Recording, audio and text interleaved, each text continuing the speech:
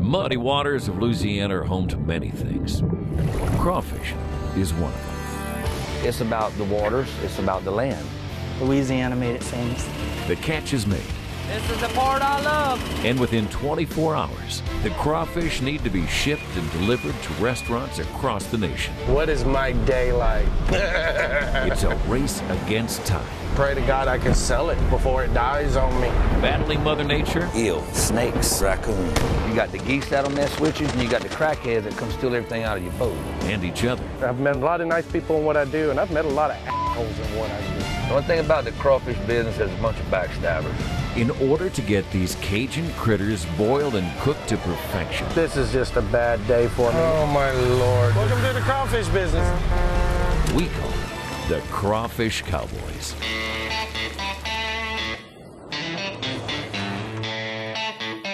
Ninety percent of the crawfish in the U.S. comes from Louisiana, but only a tight-knit group control this lucrative business. We watching my rabbits boink. Talk to me, mama. Scream, scream out there. What in the hell did I get myself into? No matter who you are, you know or heard of occasion. You've eaten the food. We're just the one that gets to supply everybody. It's the ultimate goal to catch a thousand pounds of better to the acre. It all starts with a fisherman. It's about survival rate. I seen one trying to do a doggy style, but all you could hear was no penetration. My name's Cody Newman, and they call me the Cold Man. Ah, boy, good boy. All right, give me some knuckles. There you go, buddy. My involvement in the crawfishing business is I not only fish myself and buy from other fishermen, but we ball crawfish to go. Here's the crawfish we'll be balling today. They'll roll for about six, seven minutes. That'll make a fella some money. I'm a one-man show, pretty much. After the catch, the crawfish are sorted at the dock, 31, number two. where they live and die by the pound. Big, large, small, we sell them all. Started my own crawfish supply company.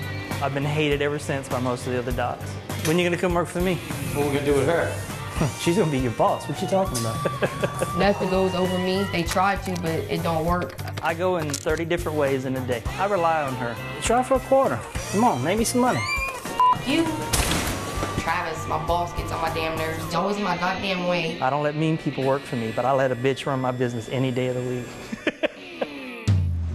Then, within 24 hours, the runners rush to deliver the crawfish to restaurants throughout the country. California, Florida, Las Vegas, Baltimore. If they want it, I can get it. How many more we got?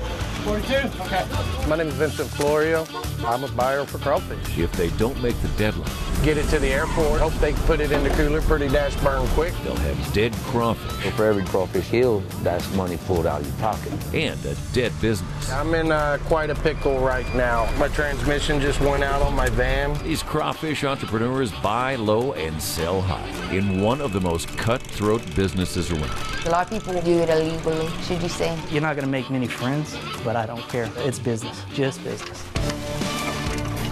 Over 100 million pounds of crawfish are harvested every year. Only a small amount of fishermen supply this demand.